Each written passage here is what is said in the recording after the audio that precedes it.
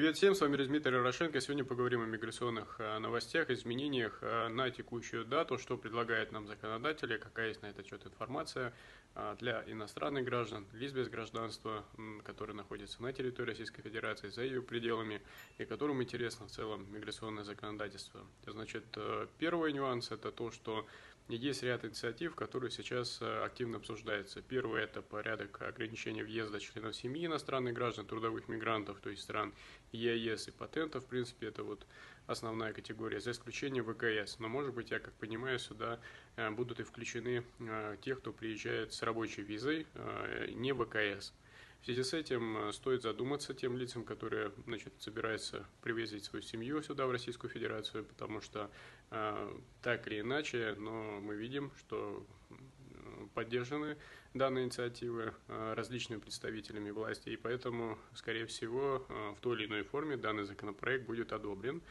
Э, в ближайшее время он будет на рассмотрении с э, различными корректировками. Суть его такая, чтобы ограничить въезд членам семьи, у которых нет оснований для пребывания, кроме э, значит, члена семьи, которые есть патент или трудовой договор, и на основании этого продлевается насчет пребывания и в связи с этим ограничить членам семьи э, вот э, данный способ продления миграционного учета и пребывания в Российской Федерации. То бишь иностранец, у которого есть трудовой договор, может своим членам семьи продлить здесь пребывание без каких-либо фактических оснований у этих лиц, у своих родственников. То есть его трудовой договор, патент, НДФЛ оплаченный является на текущий момент основанием для продления. Вот это хотят ограничить и вернуть обратно, как это было там, пару лет назад.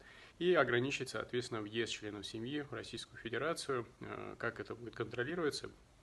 Э, скорее всего, в рамках э, дактилоскопии биометрии, то есть если член семьи проехал и значит, прошел дактилоскопию биометрию, может быть, соответственно, и по родственникам сразу будут какие-либо ограничения приниматься по факту въезда. Посмотрим тоже, как этот будет вопрос решаться. Также поправка, связанная с биометрией. А, в том числе и, возможно, и а, геномная регистрация на этот счет, и в целом а, значит, разработка цифрового профиля иностранного гражданина.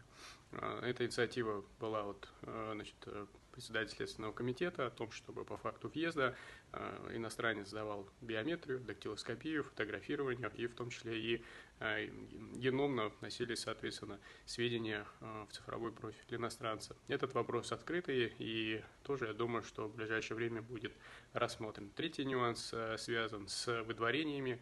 Закон о высылке и в целом вот эта схема административного контроля вступает в силу с 5 февраля с ужесточением режима временного пребывания 90 в течение года, но и в то же время, соответственно, усиливается и меры по выдворению.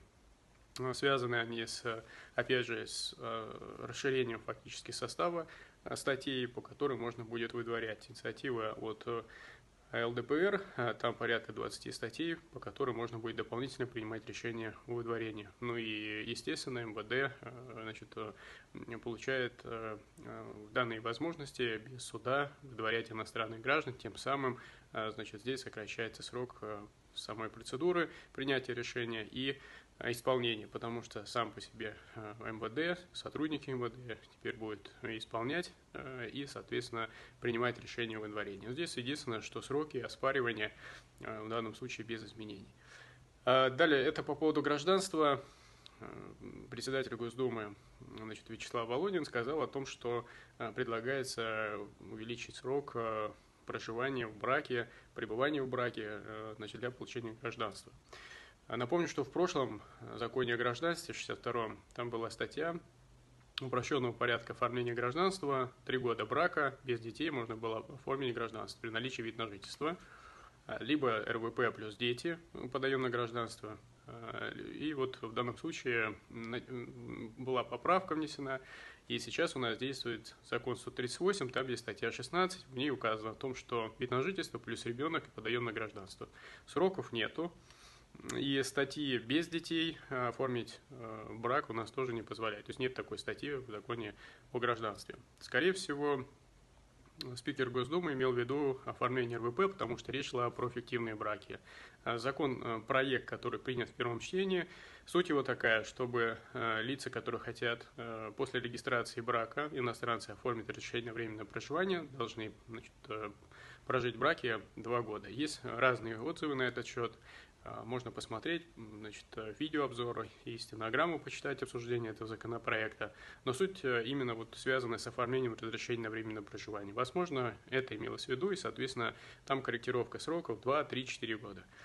А, если а, данный законопроект примут, то а, получается, что сейчас, пока законопроект не принят, хотя на практике уже ситуация немножко поменялась и тоже требует определенное количество времени пребывания, проживания в браке. Но сейчас в законе нет такой поправки о том, что зарегистрировал брак, прожил два года, подал на РВП. Если этот законопроект примут, то получается, что зарегистрировал брак в России, в иной стране, Э, приехал в Россию, чтобы подать брак, э, на, по браку на РВП, браку должно быть два года. Может быть, будет три, четыре, вот как э, значит, об этом говорил спикер Госдумы. А, возможно, и будет инициатива внесения изменений в статью 16, и появится отдельная статья, которая даст возможность без детей подавать на гражданство с, со сроком 3 года, 4 года, и, может быть и больше, как это есть, например, в Республике Беларусь.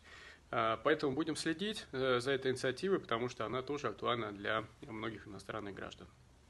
И э, еще одна инициатива, которую я бы тоже хотел, чтобы ее рассмотрели, она была тоже принята в первом чтении, это оформление вид на жительство по родственникам по восходящей линии. Потому что много соотечественников, которые по тем или иным обстоятельствам оказались за пределами России, в дальнем ближнем зарубежье, но которые имели соответствующих родственников, э, которые родились или проживали в границах Российской Федерации, то есть в РСФСР. И, соответственно, есть возможность у них подавать не на репатриацию, а непосредственно на территорию России подать на вид на жительство. Поэтому если эту поправку примут, она прошла, напомню, в первом чтении, то хотелось бы также, чтобы в статье 8 законе правоположения страны граждан появилось данное основание и данная категория соотечественников, потому что это именно соотечественники, имеющие корни, скажем так, с Российской Федерации, могли получить вид на жительство и потом сразу подать на гражданство, потому что аналогичная а, поправка, основания есть в законе о гражданстве. А, в целом пока, наверное, все.